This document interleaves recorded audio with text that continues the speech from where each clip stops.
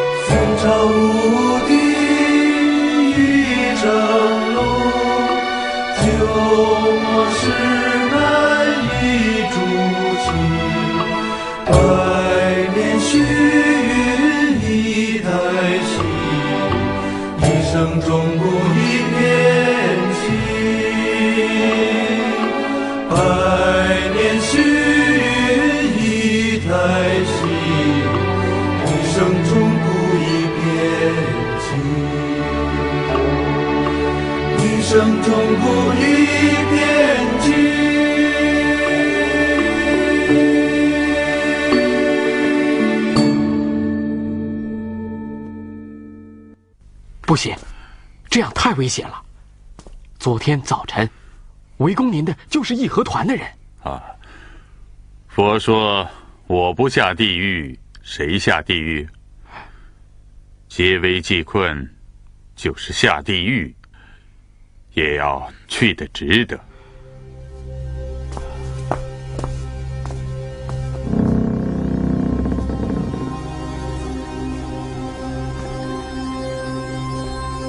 阿弥陀佛。如果没有猜错的话，你就是虚云吧？贫僧正是虚云。不知各位施主来我寺有何贵干呢？我们是来龙泉寺搜查的。你们紧闭寺门是什么意思啊？那只是为了不扰菩萨的清净。啊，请各位施主进寺赐教吧。怎么样，二师兄？啊，你是二师兄？哦。二师兄，别来无恙。啊，嗯，进就进。嗯，请你们都等着。啊，走吧。明人不说暗话。眼下京城里许多信洋教的二毛子们，都逃到了京郊各个寺庙里，妄图逃脱上天的惩罚。我们今天奉命前来，就是捉拿那些背叛祖宗的二毛子。把他们交给坛主发落。你这龙泉寺有还是没有？就听大法师一句痛快话：没有，我们立马走人；若有的话，就别怪我们动手了。有，不下两百。痛快！二师兄，动手吧。好，虚云法师得罪了。慢，这是佛门圣地。无根师傅，这件事。就由老衲来处理吧。怎么，还有什么话要说吗？贫僧知道义和团的全民是为了抵抗洋人入侵。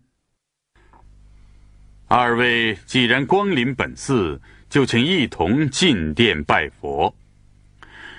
贫僧将亲自为二位施主祈求佛祖保佑平安。百战百胜。哼，我可不管你们是有理还是无理，只要你们在寺庙里，就该拜佛。怎么，今天老法师帮你们，你们还要拿糖摆臭谱啊？好，拜就拜，走。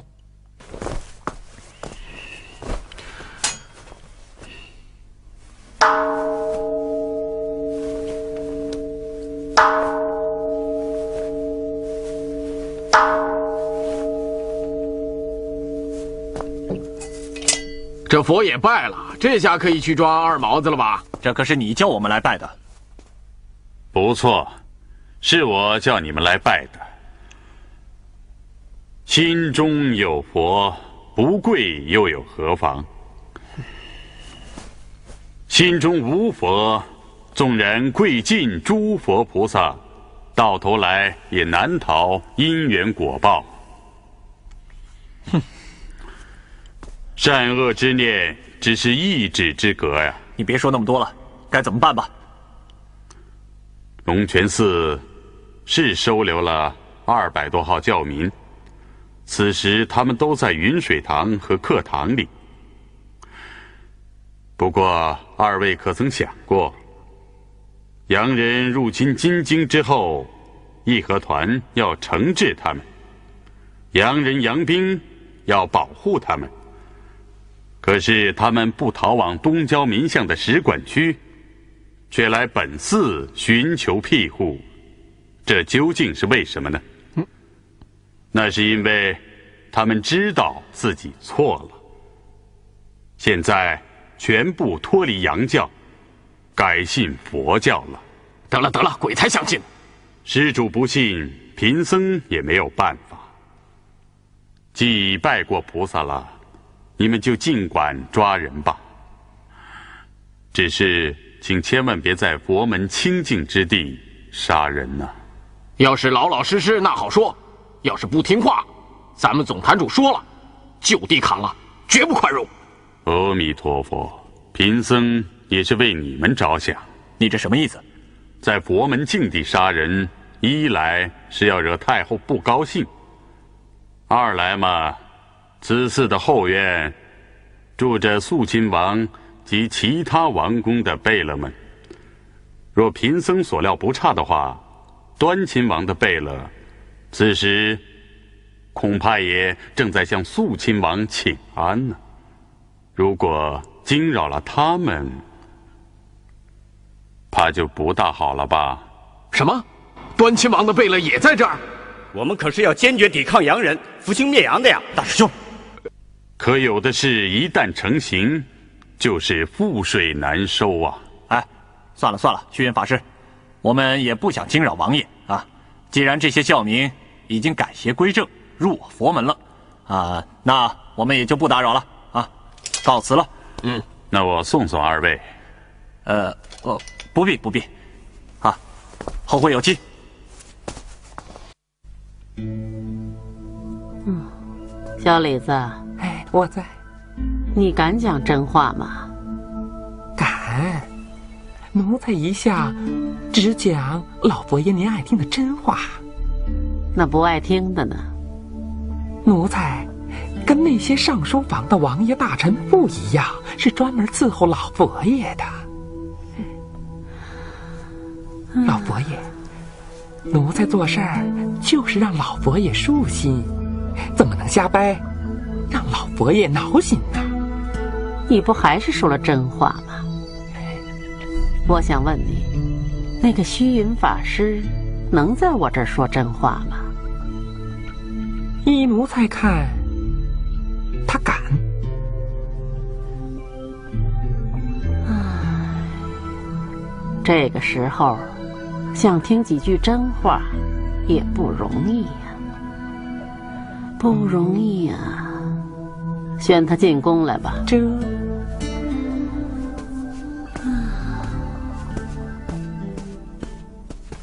师傅，师傅，你白救他们了。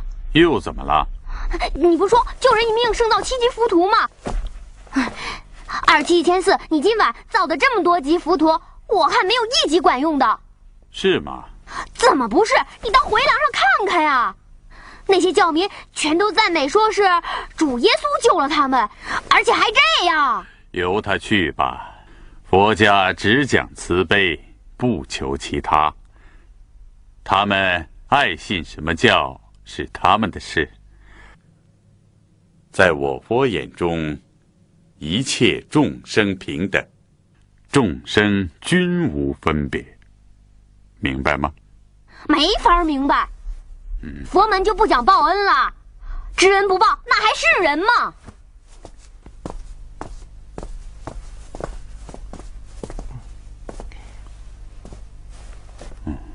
你总算来了。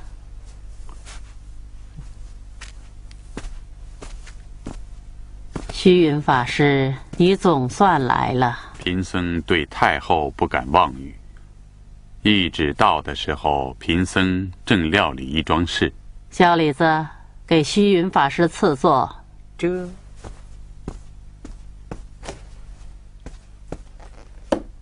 听说龙泉寺今儿也不太安宁，是吗？不瞒太后，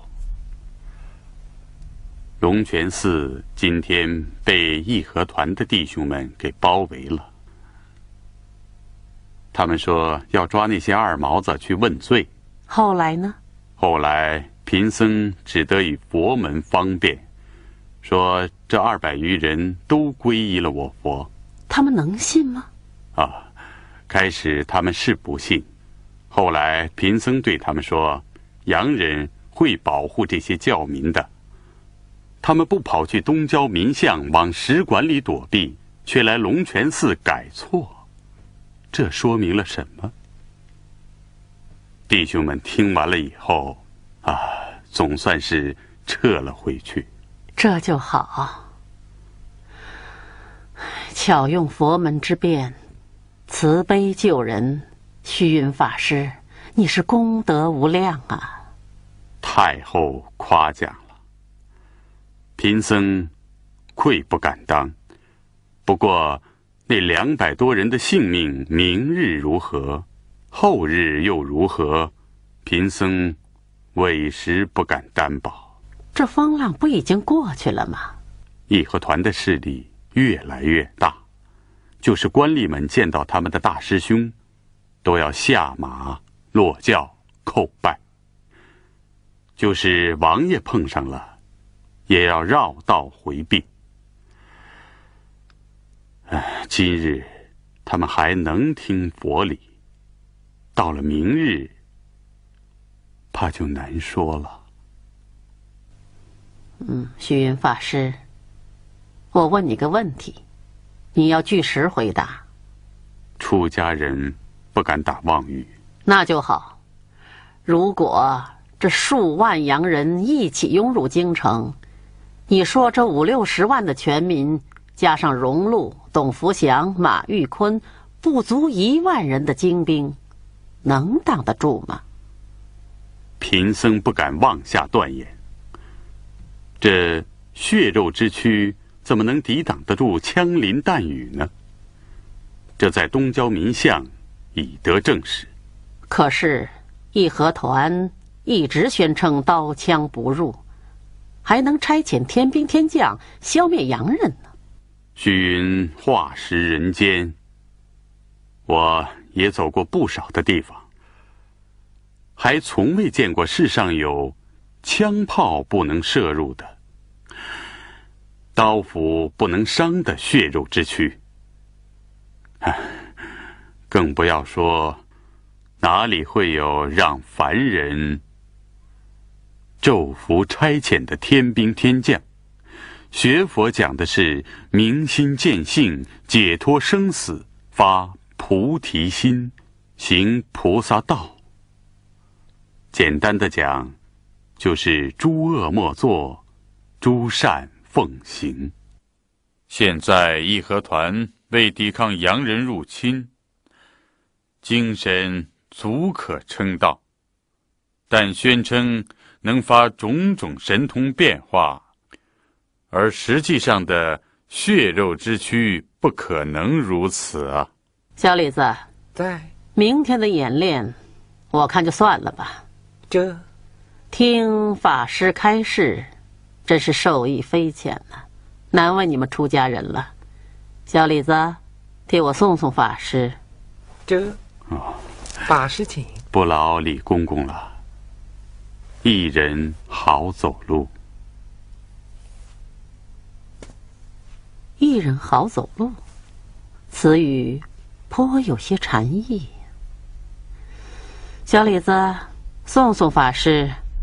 若能得到法师的点拨，你也可终生受用。梦玲，嗯，哎呀，师傅您可回来了。是这样的，那个法心长老为照看那些教民，已经累病了。他让你一回来马上就过去。啊，哦，我这就过去。嗯，走。嗯，来。嗯。阿弥陀佛。啊啊，法心长老。啊。您怎么样了？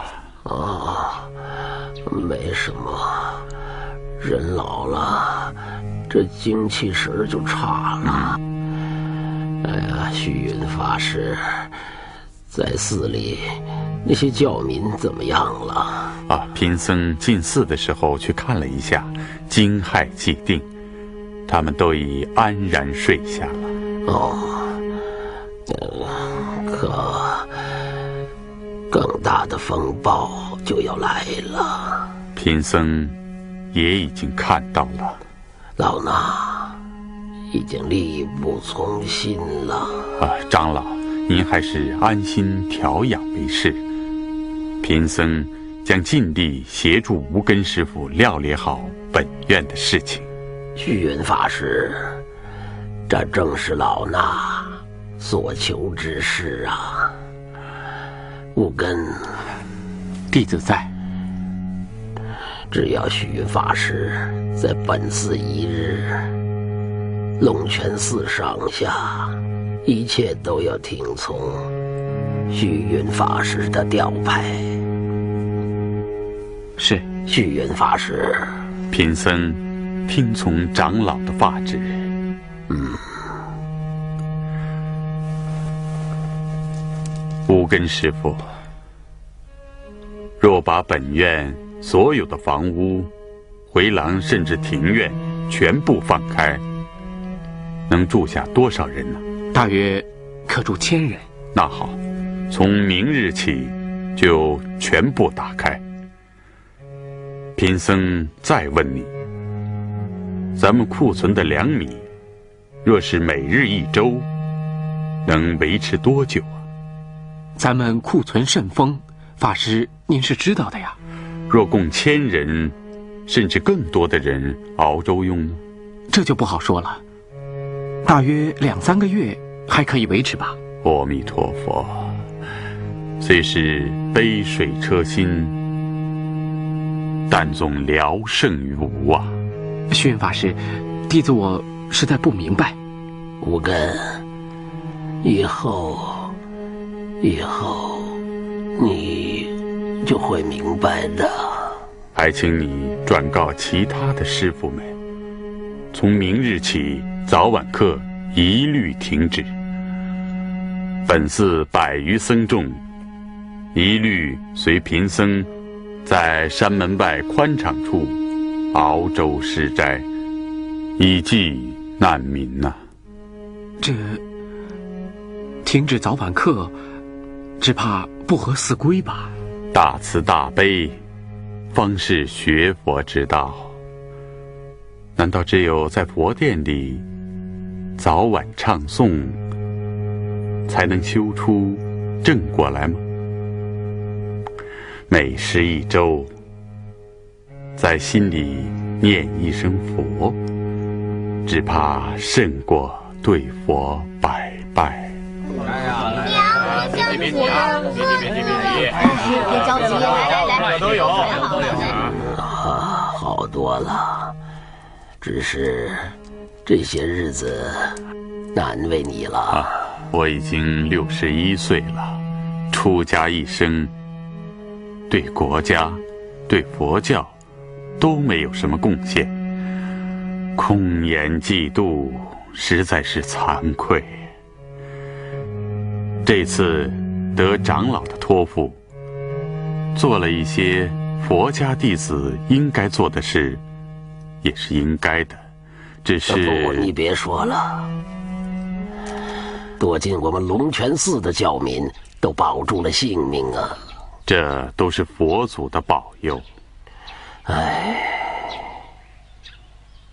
兵刀乍起，洋人入侵。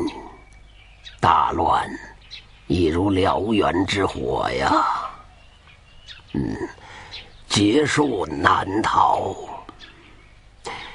就是你我出家之人，恐怕也是很难再有什么回天的作为了。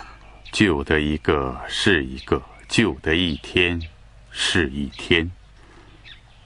虽然明知自己德能有限，可我已在佛前立下此愿。无论如何，必须尽力而为呀，不计成败。法师心诚至坚，老衲终生敬佩。不过，世间之事瞬息万变，有的事还得早为预谋才好啊！多谢长老开示。公元一九零零年，八国联军攻陷北京，慈禧太后和光绪皇帝离京出逃，京城一片混乱。二师兄，放我下来！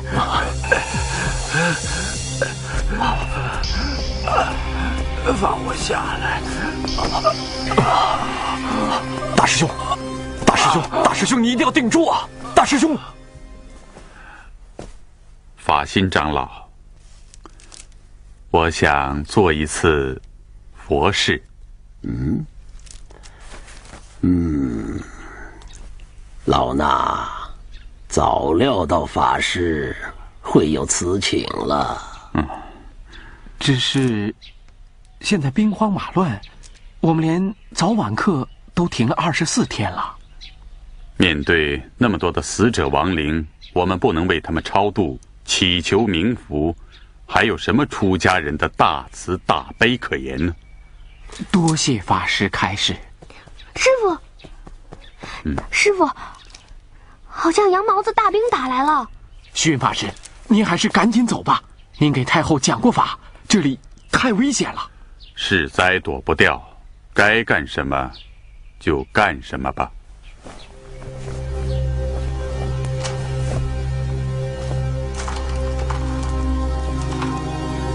嗯。啊。啊，虚云法师。阿弥陀佛。你怎么成了光杆将军了？你手下那些弟兄呢？那几百个兄弟，他们不会来了。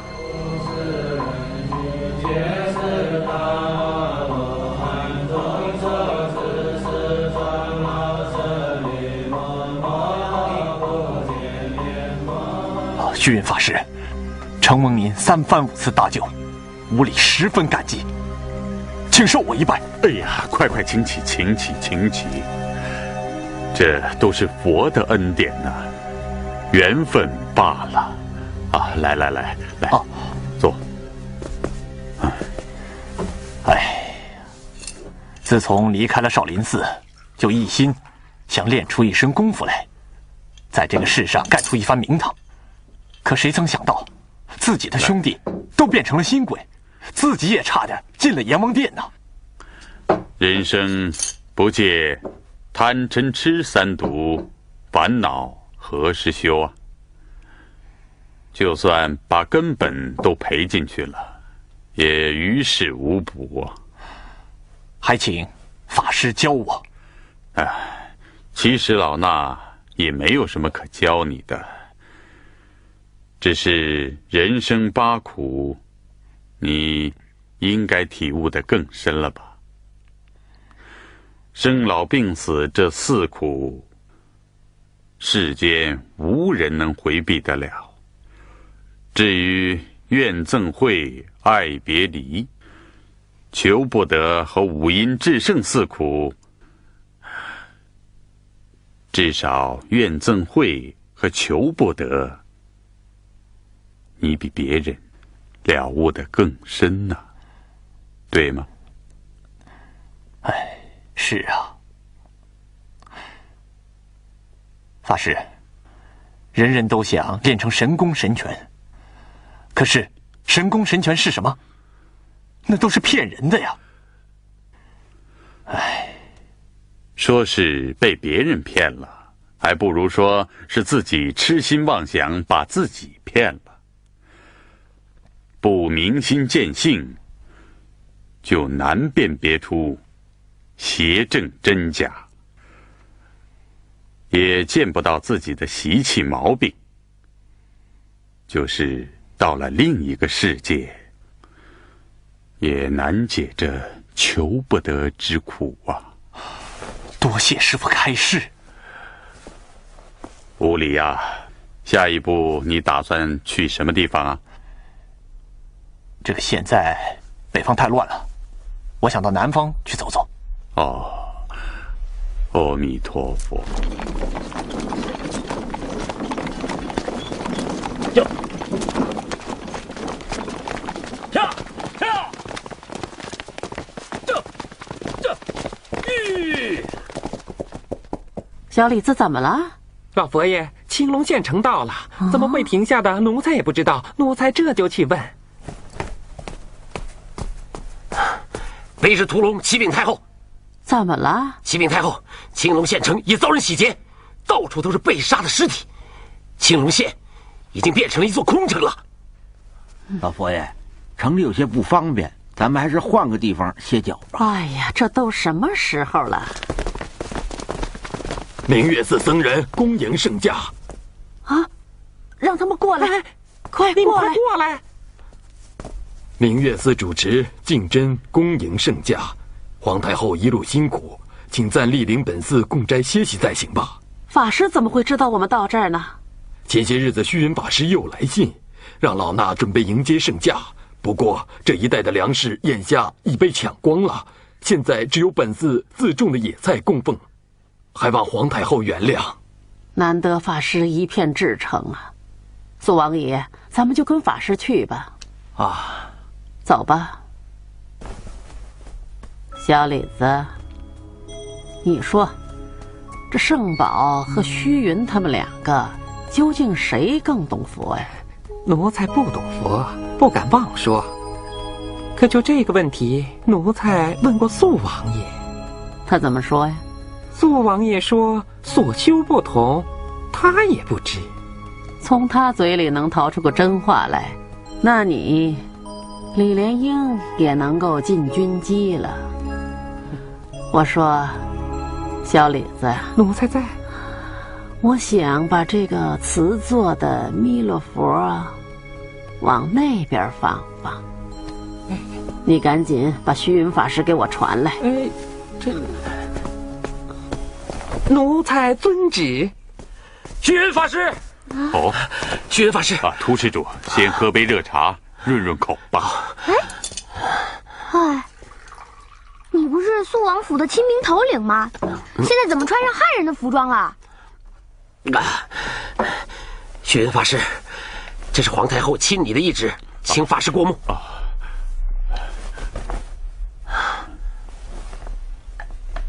啊。老衲已经八十多岁了，力不从心了。你还年轻，将来弘法扬教的重任还得靠你们来承担呐。贫僧不敢懈怠。哦，我佛慈悲，虚云法师，你应该比老衲更明白。佛法济世，有时需权意变通的。你对太后的懿旨，准备怎么处置啊？贫僧想遵旨前往。阿弥陀佛。可是，你我既深入空门，难道你就不怕被别人讥笑，攀附权贵吗？前贤寒山曾问师德。在人世间，如有谤我、欺我、辱我、笑我、轻我、贱我、骗我者，该如何处置乎啊？师德说：“只要忍他、让他、避他、由他、耐他，不要理他。再过几年，你且看他。”啊！阿弥陀佛。虚云法师既如此圆融无碍，理当受老衲一拜。哎呀，快快请起，请起！前辈如此，虚云如何敢当啊？虚云法师，现在外面难民越来越多，您这一走，看来京城的难民不会再增多了。嗯，联军攻破内宫后这三日，奸杀掳掠，已经到了人神共愤的极限。所谓物极必反，就是天下大乱，这样对他们也没有好处。以贫僧所看，他们从今日起必有所收敛，会一门心思的追寻太后和皇上。以挟持他们，获得更多的索赔呀。嗯，只是法师这一走，寺中的难民还得向他们解释一番。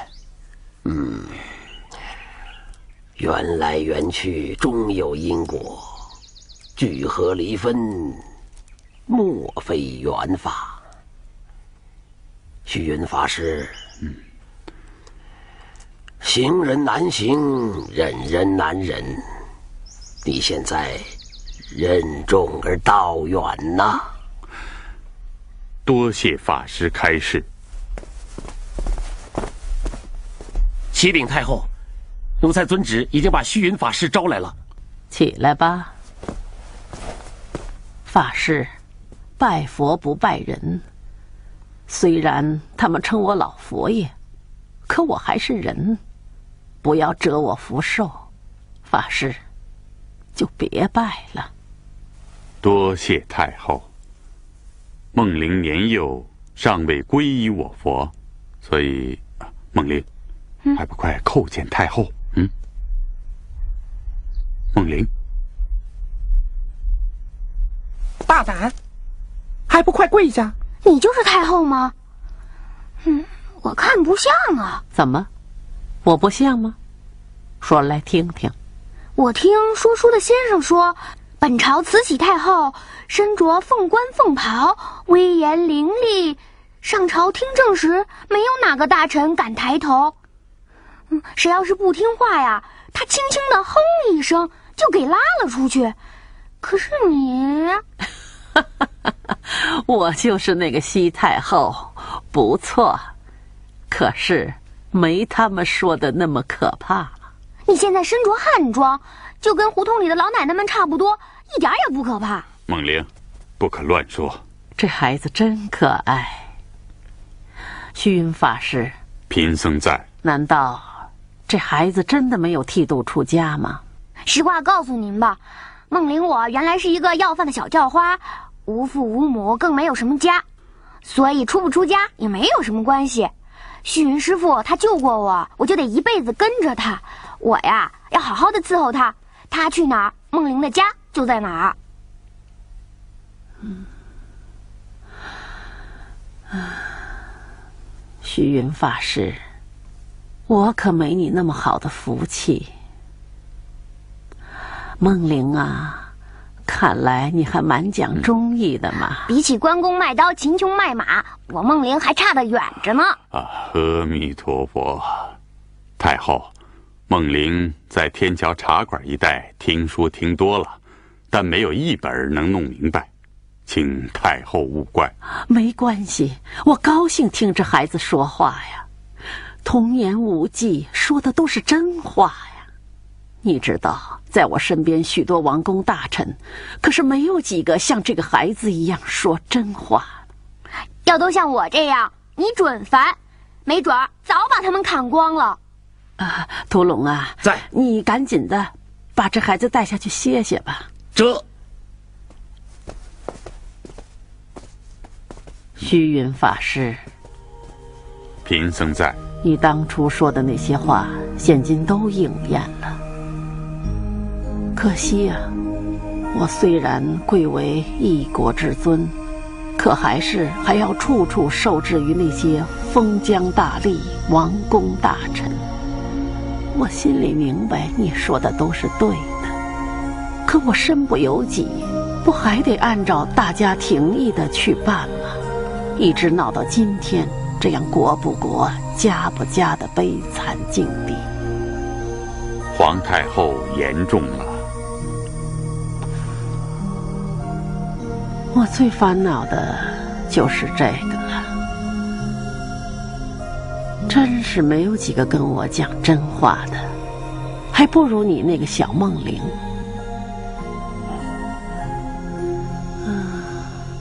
哎呦，我疏忽了，师傅一路辛苦了。小李子在看茶，这。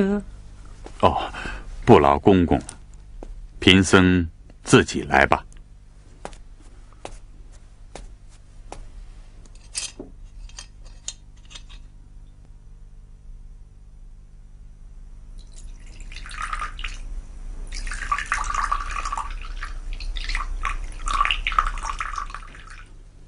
哎哎，法师，水满了。碗里的水满了，就再也装不进去了。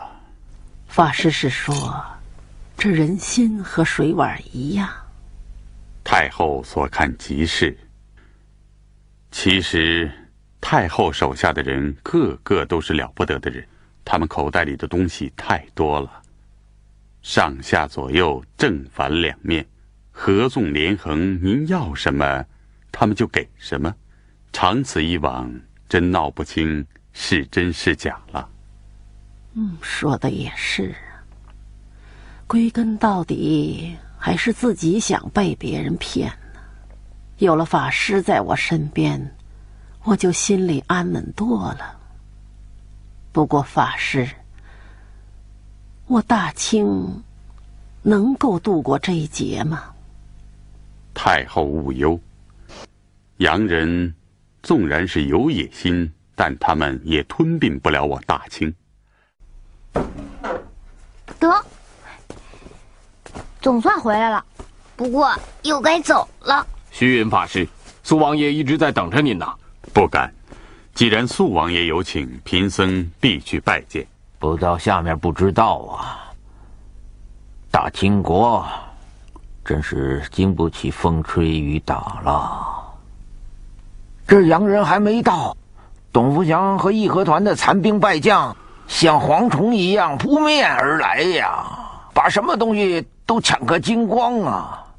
哎，这地方上的官员嘛，死的死，逃的逃，连个营也找不着啊！这到哪儿去找吃的去呀？哎，这荒山野岭的，这哪儿有吃的呀？哎，我知道，我没有把太后伺候好。可我有什么办法呀？是啊，俗话说：“巧妇难为无米之炊呀。”贫僧能体味得到王爷的难处。不过否极泰来，事情总会慢慢的好起来。眼下天气正暖，王爷派士兵出去找点野菜。总还是能撑一阵子的。好，明个我就叫他们按照法师的意思办。好在也没有几天了，等到了山西，咱们就到太原去吃刀削面。怎么，要去太原？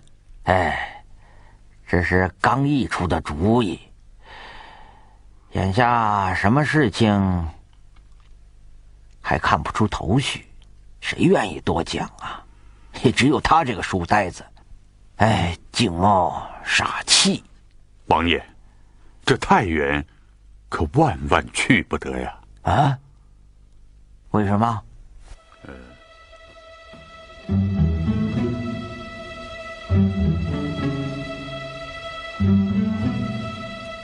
亲王求见，叫他进来。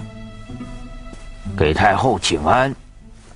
太后该启程了，不急。太后走晚了，怕误事。路走错了，走得越远就越误事。太后，虚云法师来了。贫僧参见太后。法师，一大早到哪儿去了？贫僧一大早到附近去找点野菜。哦，找到了吗？啊，找到了。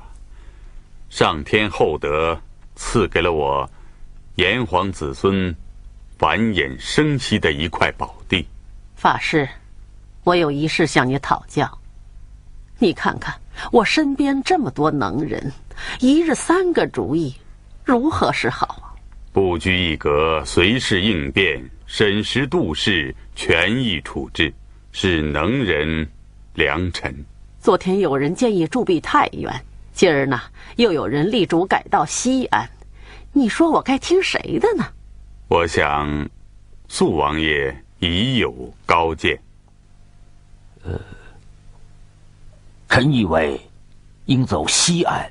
哦，西安自古是帝王之都，关中大地，物华天宝，离京城较远，且有潼关之险，不怕洋人跟来。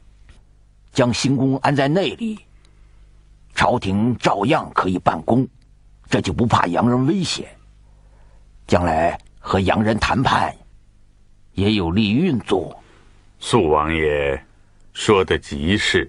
那就改道西行，直奔怀来。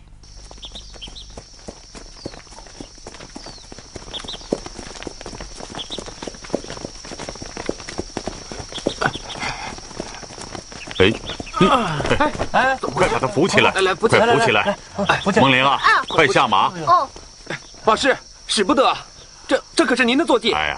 物尽其用，谁需要谁就骑。来，他这么小的年纪，身体又这么虚弱，怎么能撑得住啊？来，快上马！来，来，快把他扶上马！哎，哎，来，来来来，虚云法师啊，别说话，伤神。虚云没关系，我走惯了路了啊。来，我们继续走吧。